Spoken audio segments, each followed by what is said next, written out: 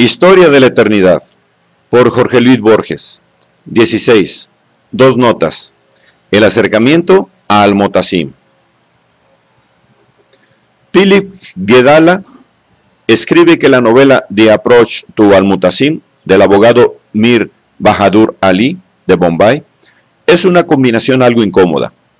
A rather uncomfortable combination de esos poemas alegóricos del Islam que raras veces dejan de interesar a su traductor y de aquellas novelas policiales que inevitablemente superan a John H. Watson y que perfeccionan el horror de la vida humana en las pensiones más irreprochables de Brighton. Antes, Mr. Cecil Roberts había denunciado en el libro de Bahadur la doble, inverosímil tutela de Wilkie Collins y del ilustre persa del siglo XII, Ferid Edin Attar. Tranquila observación que Guedala repite sin novedad, pero en un dialecto colérico. Esencialmente, ambos escritores concuerdan.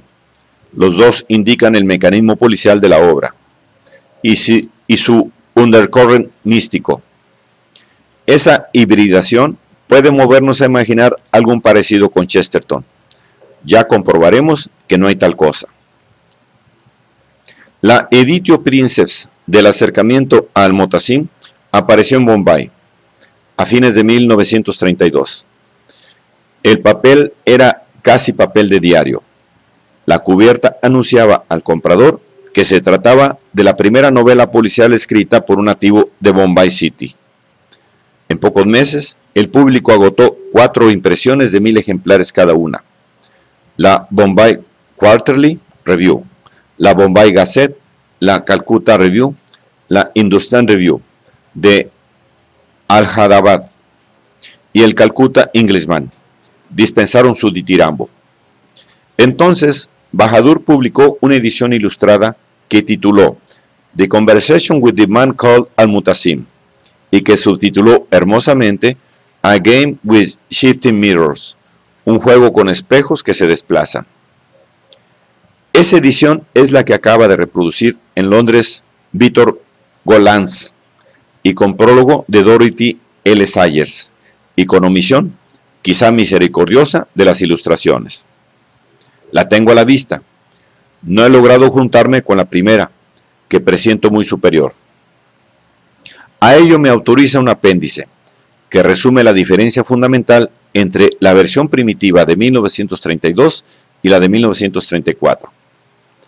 Antes de examinarla y de discutirla, conviene que yo indique rápidamente el curso general de la obra.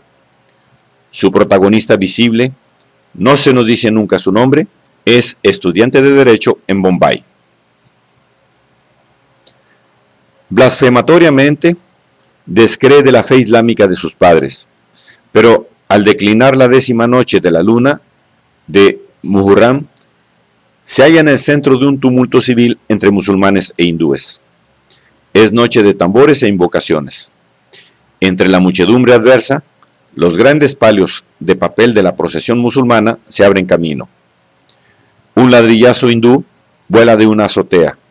Alguien hunde un puñal en un vientre. Alguien, musulmán hindú, muere y es pisoteado. Tres mil hombres pelean. Bastón contra revólver. Obscenidad contra imprecación.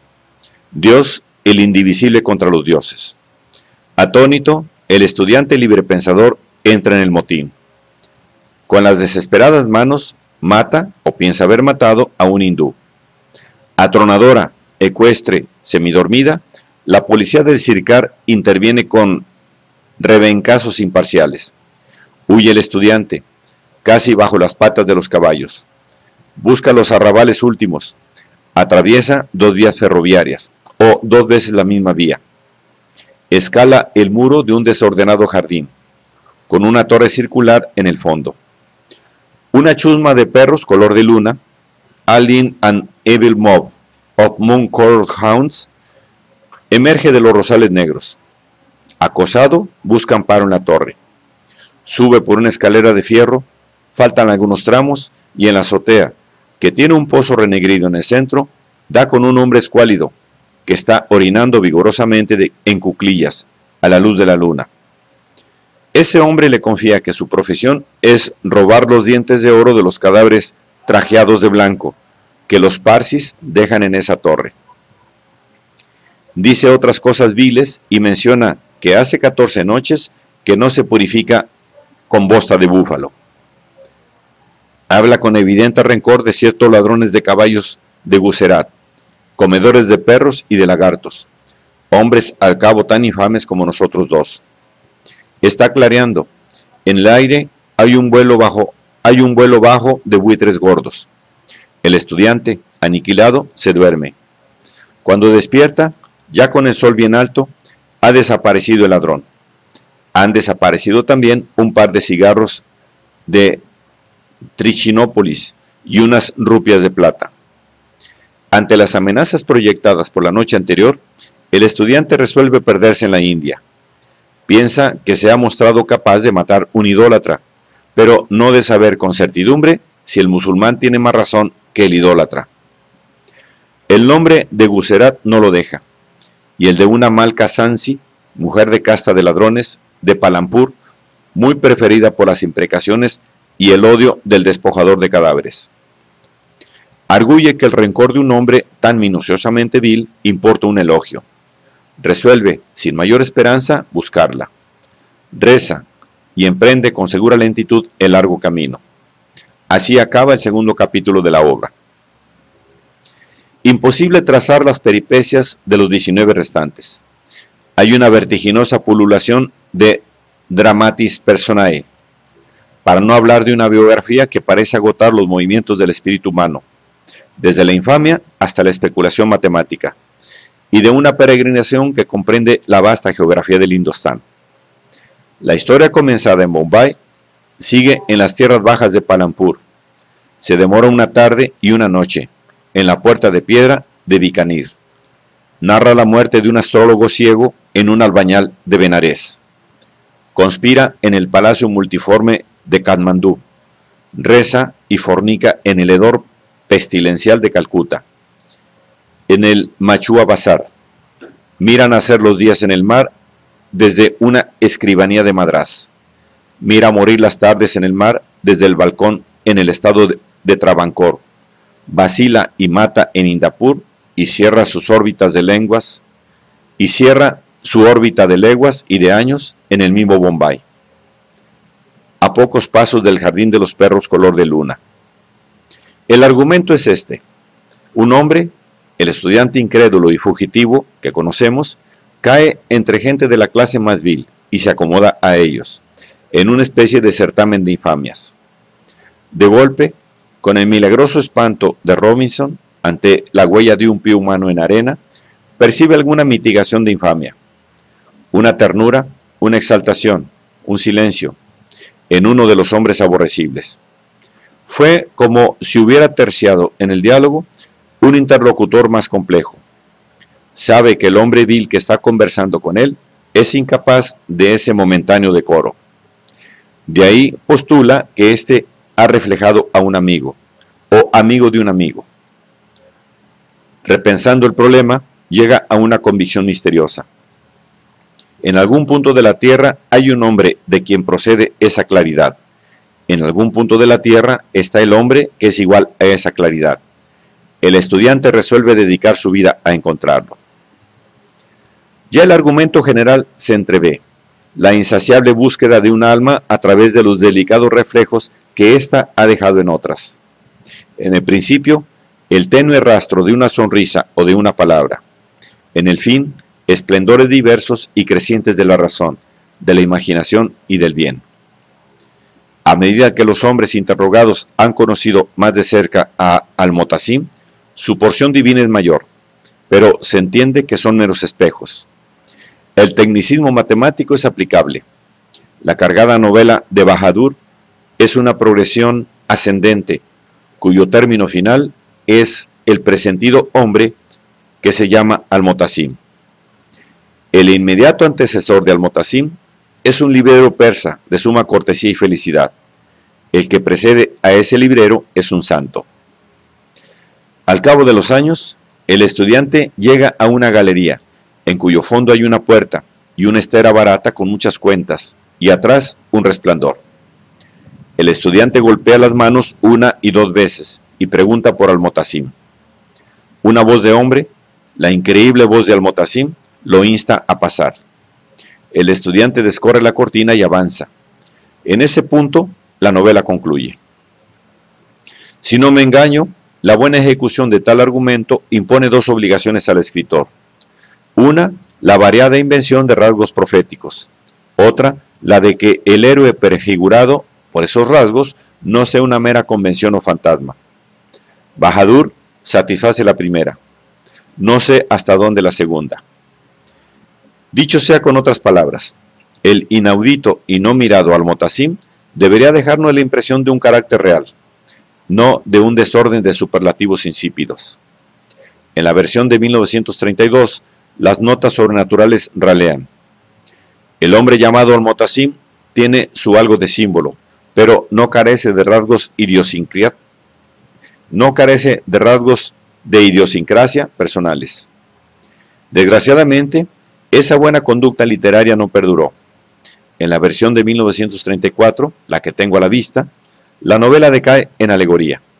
Almotasim es emblema de Dios y los puntuales itinerarios del héroe son, de algún modo, los progresos del alma en el ascenso místico. Hay pormenores afligentes. Un judío negro de Cochín, que habla de Almotasim, dice que su piel es oscura. Un cristiano lo describe sobre una torre con los brazos abiertos. Un lama rojo lo recuerda sentado, como esa imagen de manteca de Jack que yo modelé y adoré en el monasterio de Tassilumpo. Esas declaraciones quieren insinuar un Dios unitario que se acomoda a las desigualdades humanas. La idea es poco estimulante, a mi ver. No diré lo mismo de esta, no diré lo mismo de esta otra. La conjetura de que también el Todopoderoso está en busca de alguien, y ese alguien de alguien superior, o simplemente imprescindible e, e igual, y así hasta el fin, o mejor el sinfín del tiempo, o en forma cíclica. Al-Mutasim, el nombre de aquel octavo abásida que fue vencedor en ocho batallas, engendró ocho varones y ocho mujeres. Dejó ocho mil esclavos y reinó durante un espacio de ocho años, de ocho lunas y de ocho días. Quiere decir, etimológicamente, el buscador de amparo. En la versión de 1932, el hecho de que el objeto de la peregrinación fuera un peregrino justificaba de oportuna manera la dificultad de encontrarlo. En la de 1934, da lugar a la teología extravagante que declaré. Mir Bahadur Ali, lo hemos visto, es incapaz de soslayar la más burda de las tentaciones del arte, la de ser un genio.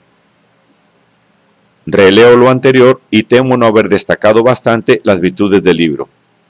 Hay rasgos muy civilizados. Por ejemplo, cierta disputa del capítulo 19 en la que se presiente que es amigo de Almotasim, un contendor que no rebate los sofismas del otro, para no tener razón de un modo triunfal.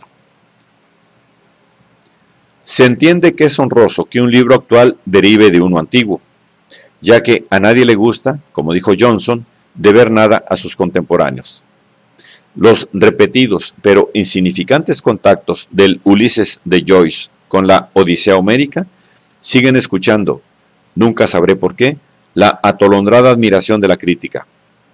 Los de la novela de Bahadur, con el venerado coloquio de los pájaros de Farid al-Din Atar, conocen al, conocen el no menos misterioso aplauso de Londres y aún de Al-Jabad y Calcuta. Otras derivaciones no faltan. Algún inquisidor ha enumerado ciertas analogías de la primera escena de la novela con el relato de Kipling, On the City Wall.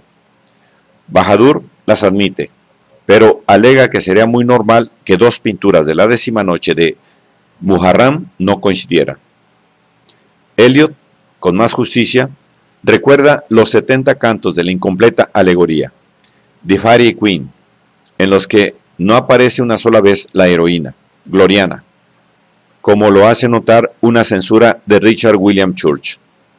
Yo, con toda humildad, señalo un precursor lejano y posible, el caballista de Jerusalén, Isaac Luria, que en el siglo XVI propaló que el alma de un antepasado o maestro puede entrar en el alma de un desdichado, para confortarlo o instruirlo. Y Burr se llama esa variedad de la metempsicosis.